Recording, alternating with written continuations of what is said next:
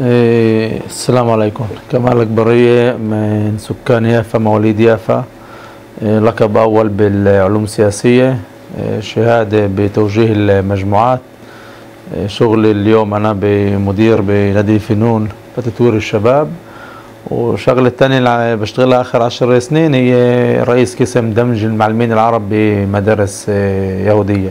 مشروع اللي هو إيه، كتري اولا آه، قبل ما نحكي عن نشاطات ال- المركز مهم نذكر إنه هذا المركز آه، بيخدم بيخدم كل سكان آه، العجمة كل سكان يافا آه، لشباب أكيد شباب وشابات من جيل 12 لجيل 18 آه، المحل هذا موجود آه، لإلهم آه، بشكل آه، عام وبشكل خاص. آه، إحنا بنخدم هنا الطلاب الشباب الشابات بالأخص يتسربوا من المدرسة.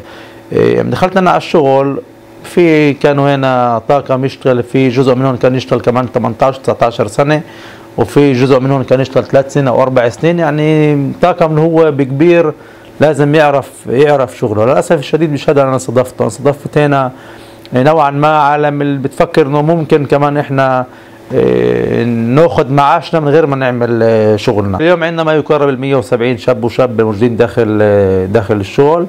وهذا ما فيش شك إنه كمان بمجهود كبير شت كل الطاقم الموجود. يعني أنا بقدر أقول من هنا لبكرة إيش بدي.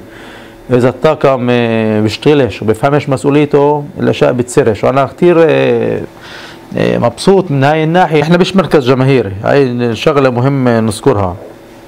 أكثر من هيك.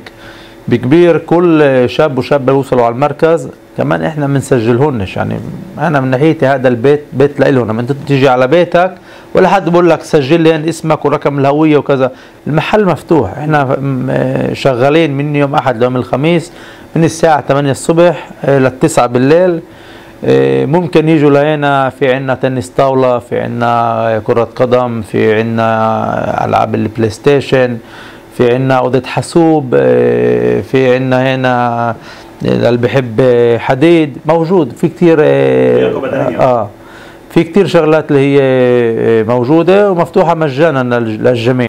البيت الدا- دافع عندنا اليوم تقريبا ما يقارب ال 25 آه، ولد كلهم أولاد آه، شباب.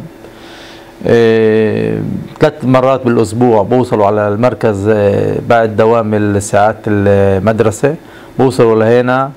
آه، بنحضر لهم هنا غدا بتغدوا آه، كل مرة بيسووا لهم طبخة غير بساعدوهم بكل موضوع شت آه، الدروس اللي بيكونوا لازم يحضروهم. بيشتغلوا معهم كمان في عمل اجتماعي اللي بيشتغل معهم على شغلات كل واحد ومشاكله بالبيت أو مشاكله بالمدرسة نفسها. في عندنا كمان معلمة اللي بترافقهم آه، وبتشتغل معهم آه، كمان آه، مش بس إنه يخلصوا الوظائف اللي لازم يع- يعملوها كمان كيف ممكن نتقدم أكثر لقدام مع كل مع كل طالب. من مدراء المدارس بقول لك بلغش على الطالب اللي بوصلش وإحنا بنعرف عليه مرات بعد سنة. أنت بس تخيل إنه إحنا نوصل لطالب اللي هو له السنة إيش المدرسة إيش عمل بهي السنة؟ هلا أنا بقدر أقول لك بهي السنة ما راحش على الجامعة وما راحش على الكلية. بهي السنة كمان في عندنا هنا دورة ال- كرة قدم آه، فوتبول مع نسوي مع البوعل تل أفيف مرتين بالأسبوع. في عندنا هنا المدرب يوسف سقا بيشتغل مع الطلاب هذولا عندنا فرقتين آه، لاجيال مختلفة. في كمان دورتين اللي آه، بفكر كتير مهمين وموجودين داخل المركز. دورة واحدة هي آه، تصليح التلفونات دورة تصليح التلفونات. دورة زي هاي بتكلف برا ما يقارب ال 10000 شيكل. آه، الشباب موجودين داخل المركز بياخدوها مجانا. ودورة ثانية هي دورة لتصليح الحاسوب. بتعلموا بياخدوا شهادات رسمية. إيه برضه هاي الدورة باخدوها هنا مجانا. جواب إيه، نوعا ما يمكن شوي سهل. أنا راضي ومش راضي؟ يعني من ناحية واحدة إذا بدي أطلع إيش كان بالسنتين وإيش موجود اليوم لازم أكون كتير كتير راضي. من الناحية الثانية بعرف إنه ممكن أكتر وأكتر. وبفكر إنه اليوم لما إحنا بنشتغل مع الطاقم الموجود هو بيعرف إنه إيش مكان مزبوط لليوم بكفينيش لبكرة. يعني إحنا كل الوقت بنقول حلو اللي عملناه لليوم إيش بكرة إيش بعده. يعني كل الوقت لازم يكون في تغيير. كل الوقت الطموحات لازم تتغير. كنا بدنا 50 ولد اليوم إحنا 170 170 أنا بكرة بدي 200 200 بدي 250 ليش هذا موجود؟ أما الشغلات هاي موجودة ما فيش أي سبب بالدنيا إنه ما نوصلش لإلها. عشان هيك أنا بقول إنه من ناحية واحدة أنا كثير إيه، راد على الإنجازات من ناحية ثانية ممكن كمان الأشياء هاي تتحسن إلى أشياء اللي هي أحسن بكثير من الأشياء الموجودة إيه، موجودة اليوم. أنا اليوم وظيفتي ما افحصش وين المدير المدرسة أو وين المستشار المدرسة أو وين مربي الصف إيه، إيش عمل إيش ما عملش. أنا عندي أول شيء أنا نوعا ما زي اطفائيه بدي أطفي الحريقه حريقه من ناحية هذا الشاب اللي بوصل لعندي لهين أما هو بين عالم لعالم بين أشياء تمرق براسه كثير سلبية لبين إنه كيف بده يعمل المصاري بسرعة وإحنا عارفين مصاري بسرعة إيش الإشي لوين الإشي بودي. أنا أول شيء بركز كيف ممكن الولد هذا أو الشاب هذا آه، أضمه للإطار الموجود. عندي طلاب هنا مرات يجوا من صف 12 من مدارس من يافا من صف 12 بعرفش يكتب اسمه. خلص صف 12 بعرفش يكتب اسمه برسمه مرات لاسمه. صف 12 وبتلاقي بحفلة التخريج واقف ومبسوط.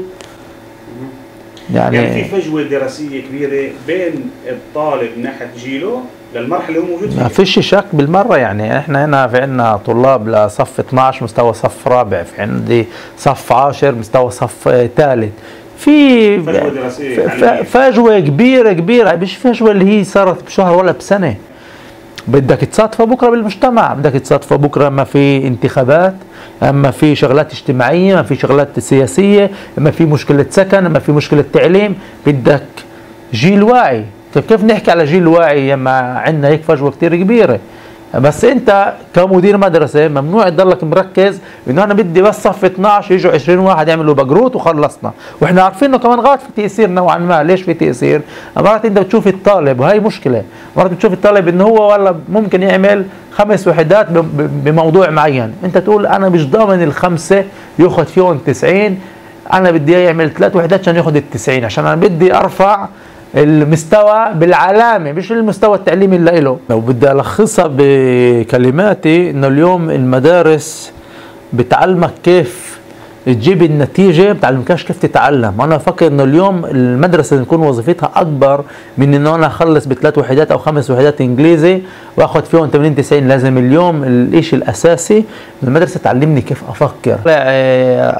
أدير مركز كبير عشان كمان أتعلم. أتعلم بالمستوى الشخصي بس كمان بمستوى شد بلد. ممكن والله الشغلات تتعلمها غاد أجي أطبقها بيافا وظيفتنا هنا بالشغل بكبير هو نصنع الحلم للطلاب هدول للشباب هدول. شكر لازم توصل لكل واحد من الطاقم. آه، آه، كيف بقولوا من لا يشكر الناس لا يشكر الله.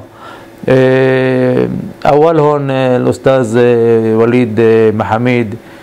كمان ما فيش شك إنه كمان منى زبدة وعبير سعد اللي بيشتغلوا مع المدارس آه، يوميا آه، وبيروحوا من بيت لبيت آه، كلمة شكر لإلهم لأستاذ سامي أبو قعود مركز البيت الساخن والباقي التاكا بيشتغل معاه تقوى خميس طارق إبراهيم العمل الاجتماعي الموجود معاه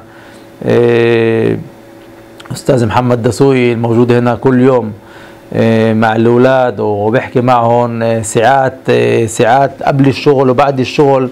بتحس إنه اخذ بتعرف في عالم بأخذ الشغل عندهم على الدار. هو 24 ساعة بتحسه إنه ممكن شاب بتصير له وش الصبح ومحمد دسوقي يرد عليه.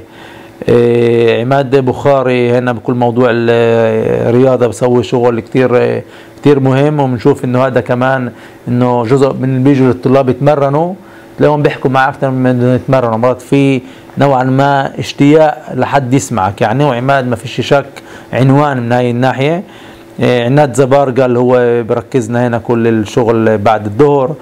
إيه، أستاذ صالح إيه، شلبيه شيرين نمر دينا ناشف زيس كروان اللي بيعملوا الشغل كمان يبال الفتيات داخل المركز. دينا بفكر إنه ما فيش اليوم بمستوى شتى فكمان واحدة عندها تجربة مع فتيات زي ما إيه، دينا عندها. زي سكروة بتشتغل اليوم مع المشروع شت تعليم الصبح الموجود اللي بترافق 52 شاب وشاب. كمان بتسوي معهم شغل كتير كبير. ترنيم كروان هيثم هيثم ترك. وتأمل هيك ذكرت الكل. يوسف سقا طبعا بالكرة قدم. وإذا نسيت حد اعذروني. السيد كمال الأخبارية. شكرا لك على هذا اللقاء. ونتأمل لك النجاح الباهر في مهمتك الجديدة في إدارة مركز جماهيري في بلطيق شكرا لموقع يافا 48